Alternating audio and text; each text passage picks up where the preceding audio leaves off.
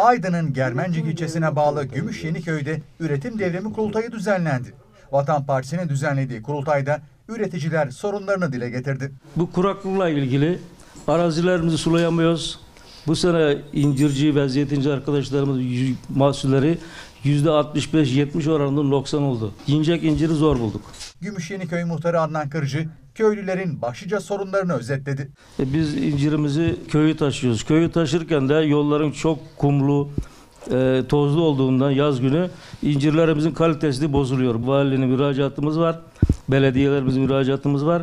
Bu yolların da bir an önce döşeme ya da asfalt yapılmasını istiyoruz. Kuraklıkla boğuşan köylüler yanı başlarından akan Naipli Deresi'nin suyunu da organize sanayi atıkları nedeniyle kullanamıyor. Şu an çaydan geçerken vallahi maske takmak lazım yani. Oradan bir zehir akıyor. hiç kimse sorumlu kabul etmiyorsa bu derenin pisliği nereden geliyor? Bu su nereden geliyor? İnsan sağlığına, hayvan sağlığına, tarla bitki sağlığını tehdit ediyor. Etti zaten. Tarlamız çorak oldu. Üreticiler köy merasının organize sanayi alanına dönüştürülmesini istemiyor. Şimdi dedim merayı göz diktiler. Bu merayı da alırsa bu köyü terk edelim biz. Biz meramızın elimizden alınmaması. Başka bir şey istemeyiz. Gene burada nereden baksan 500 koyun var. Ama meramız gitti mi o da yok. Gübrenin tonu olmuş 15 bin lira. E tabi çiftçinin alacak gücü yok. Hayvanı var elinde. Yarın herhalde hayvan beslemekte o meralar giderse hayvan gübresi de bulunmayacak gibi. Bunun sonu nereye varır? Yarın buradan çıkın deseler onunla mı çıkacağız gideceğiz acaba organize sanayi gelse? Sit alanı sorunu da üretimin önündeki bir başka engel. Mahsulümüzü sulamak için bir kuyu, bir artizan yapamıyoruz. Mesela benim şimdi bahçenin içerisinde gelen dereden gelen su olduğu gibi millemiş. Dere dolmuş. Ben o dereyi nasıl açacağım? Bir tane kepçe götürsem hazine mi kazıyorsun diyecekler. Bahçemizde evimiz var. e, Bir tamirat yapamıyoruz. Bir kiremitini değiştiremiyoruz. Bir fidan dikemiyoruz. Kuru, kuruyan ağacın yeri boş kalıyor.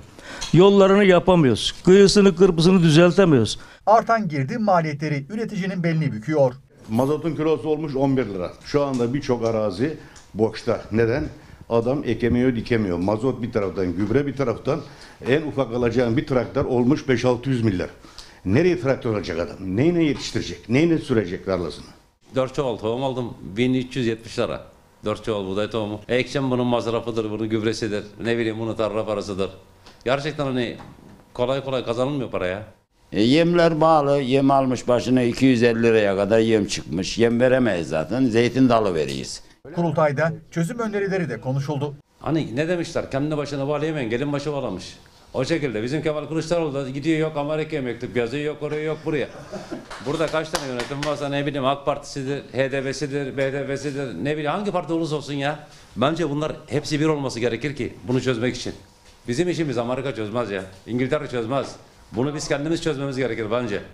Sağ olun. Vatan Partisi Aydın İl Başkanı Bahattin Nazlı tek çıkış yolunun üretim devrimi olduğunu söyledi. üreticilerin milli hükümeti kurulmadan biz bu krizden çıkamayacağımızı düşünüyoruz. Biz dışarıda mesela eskiden bu köyde kaç kişiyiz? 100 haneyiz.